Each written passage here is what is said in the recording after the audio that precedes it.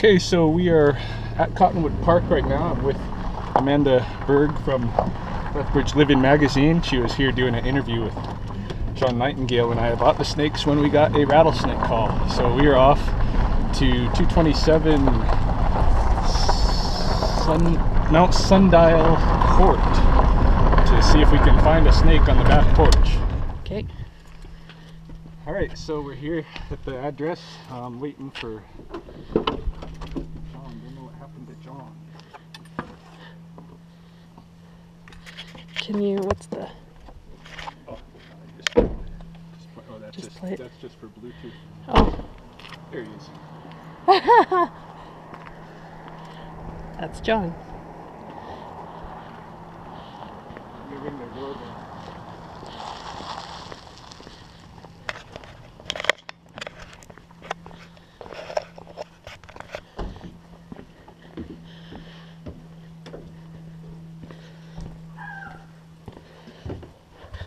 You're the doorbell. What's stop button? This one? Yeah, just leave it. I'll just leave it. Okay. Yeah, I just.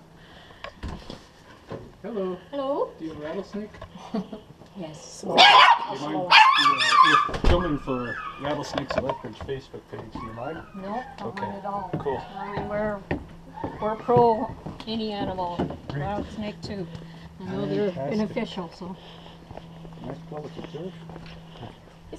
Keeping it After nicely looking watered. at, yeah, gotta look after it, and it, looks after itself too. It's, um, right in this corner by our gate.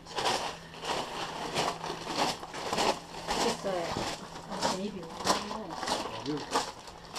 Last night I was opening the gate, I heard this, and I looked down, oh my gosh, yeah. Just on the other side It's, it. no, no, it's right here, right, right down there.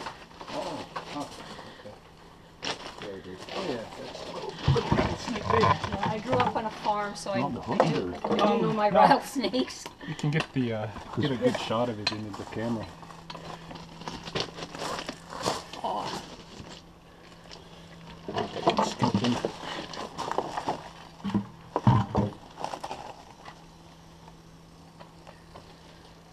Or if you can open the fence, John, behind you. oh, you have to go Oh, from the oh, okay. around. I can go Oh, around. it's okay. No, it's no, I'll- okay. I'll go. I got him. Oh, you got 'em?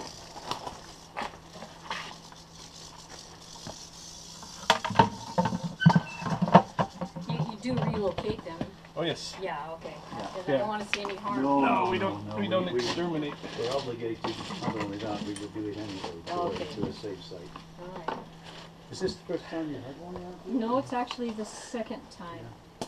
We've been here three years, and uh, there was another, a little bigger one uh, sunning on our driveway, but he meandered away. So we're facing, We're facing South south, here, aren't we? Mhm, Yeah. right onto open farmer's field. Yeah, it should be. Entrance to Popsy shouldn't be too far. Popson, you see where that, that uh, telecommunication? That's That's the, right the at the top, beginning, isn't it, that's of the, the yeah, down yeah, there, that's the yeah. beginning of uh, Popson Yeah. Park. But this is all It's sort all- of arable land here, isn't it? I Yes. think, so. And it's all, yes, farmer's land from that gate, uh, from the fence on and city property. Yeah. Well, thank you for coming so quickly. I, I appreciate it because we didn't, you know, we would have probably eventually, we thought he'd just go away, but he, I don't Probably know. would, but this is better. Yeah, so. Very observant to find it, Mm. given the fact it's down there. That's the kind of person I am. Very observant around my own place. yeah. Do they have like? Do they start uh, coming uh, being hatched in- at this time, or is No, they're just leaving their dens. They're le- just leaving their dens. Yeah, now that now that it's starting to warm up, we had that that kind of cold rain shot last week, and so this week is actually expecting, you know, I see. Okay. to start getting a lot more Mhm. calls as they move out. Once they find where they're going for the summer, they then it- this calls really slow down. But this next couple of weeks, I think it'll be busy as they're moving. Do you have a card Um, I got a brochure. in case we have?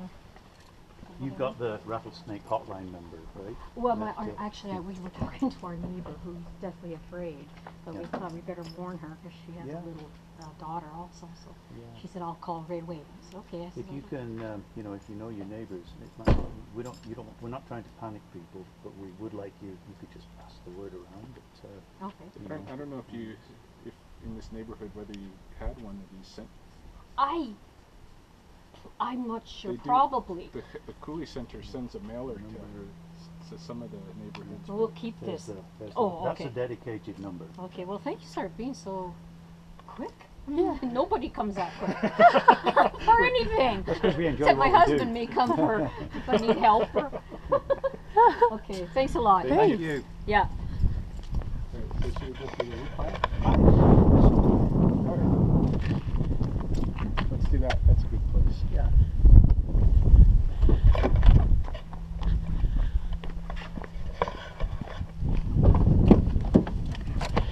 We're still filming. Cool. Do you notice that that uh, that snake didn't strike the? Nope. Not at all. See how, how quiet. non-aggressive. Didn't even hardly buzz. Nope. So good, good. So we're on our way to a drop-off spot that is. We're obligated to drop them off at the nearest known hibernaculum, which is why we're kind of getting a bearing in the backyard there um, to see where we were in relation to the snake dens. There's actually a couple of different places that we could bring them to that are probably proximal in distance, but um, I'm going to bring them, bring it to a, a large wood pile that is um, very near a good a good sized snake den, and we'll just drop it at the wood pile, leave it there.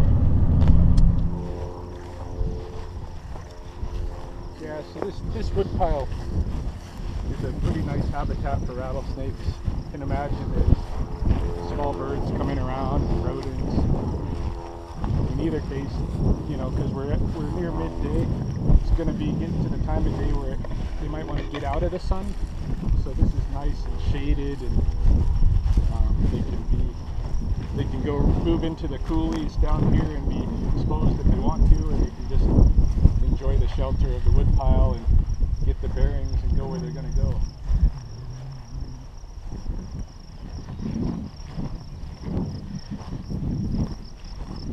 So with every snake that I pick up, I uh, photograph it because I keep a database of um, rattlesnake photos in order to identify them as individuals and study their movement. Rather than using pit tags or some other, sometimes people will paint the uh, the rattles. You know, they'll do a kind of a um, different colors on the. It's almost like a nail polish on the rattles to, so that when they pick them up again, they'll they can they'll know who they are. But try to get him to spread out a bit so that you can see his behavior here. Though he's got his head tucked under. You know, this is just a defensive posture. A lot of times they'll have their tail up and their tail will be moving, and so if there's a if there's a predator messing with them, chances are they'll they'll bite at the tail instead of their head. Hmm.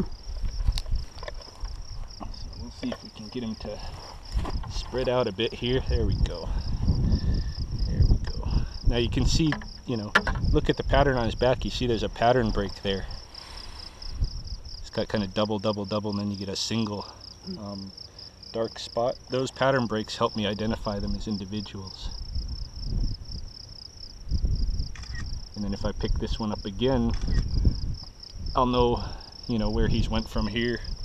He or she with a with a snake this young, like I was saying in the in the vehicle, it's hard to tell male or female because this is not a breeding age snake. But um, this is maybe a two-year-old. What do you think? Two, three years old. maybe. Oh, I think three personally, Yeah, but three, uh, three. Yeah, yeah. I think I think you're right, but still not not uh, breeding. So, if it was a little older, we might be able to get a better judgment just by on sight of whether it might be a male or female.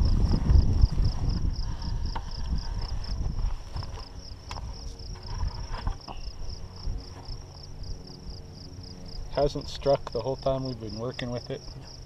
Hasn't even hardly rattled. some people are of the opinion that um, you can tell the age of a snake by the number of rattles. Yep. In a word, that's false. they, they, two words. They develop, oh, okay. Thanks, Ryan. Let's start this again. In two words, they, can I carry on now? Yeah, please. They get a new rattle every time they shed the skin. So in a younger snake like this, they shed their skin quite frequently. Obviously, it's like getting new clothes. As a child gets older, they have to get clothes more often than an, an adult. And um, not only that, but the occasional the uh, rattles will fall off too. So it, it just doesn't tell you anything about their age.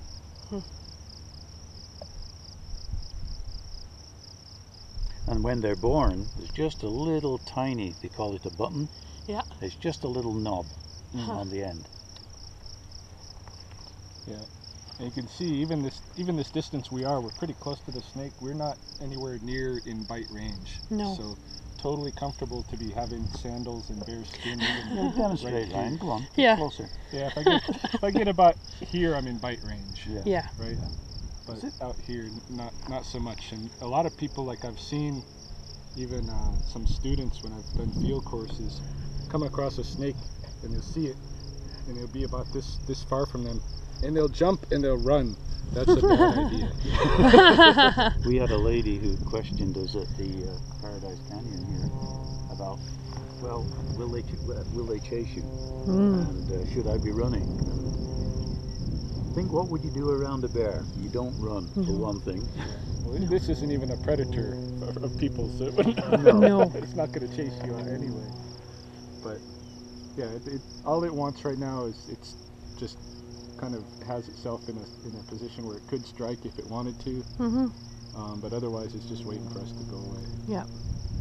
Initially, if you noticed, his tongue was out, Yep. which is smelling. Yep. So I would suspect now it's fairly relaxed, you know, Yeah. the way it is.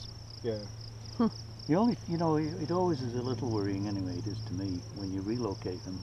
Um, you know, right here, there's two, actually, essentially two major roads, because this one road from Paradise makes a big loop, hmm and if he chose, chooses to go back that way, then, but we can't do anything about that, you know. Um, there's a very good chance this is where it's come from.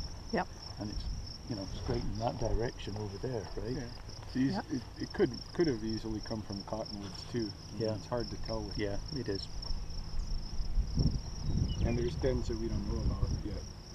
You know, we know we know where some of the larger dens are, but there's a lot of small dens that you know you- you'd have to be pretty lucky to stumble upon. So Yeah. anywhere along the coulee it could have come from. Yeah, he's bored now.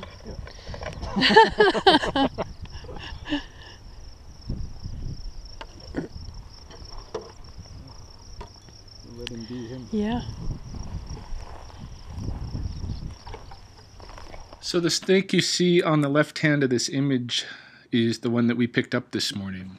And when I checked this image against my photo database, I found out that I have actually encountered her before, uh, twice. Once being picked up and once at a den site. The den site, her home den site, as it turns out, is not the area that we relocated her to, but it's rather she was supposed to be at the North Riverstone Hibernaculum. That's her home den. So she traveled a long way um, from her home den and even across University uh, Boulevard somehow to end up at Mount Crescent. Um, so she's a lucky snake that that she got across University without being uh, smashed. In any case, uh, we've relocated to the the upper Popson area um, where there are uh, some a variety of dens and. Uh, I think she will probably make her way. She's got a whole lot of summer left. She's going to make her way to wherever it is that she wants to be, um, whether it's back in the Riverstone area or not. Um, but yeah, her name is Addie. Um, she was first photographed in October of 2013 in the image you see on the top right at the North Riverstone den. And um, so we know that's her home den. And then the photo at the bottom image on the right uh, was when I last picked her up which was at the entrance of the university library uh, in July, toward the end of July of last year, 2014. So Addie gets around. Hey, she's she goes from as far as the university library, all the way uh, to Mount Sundial Crescent, um, which is quite a distance, and her home den is in between.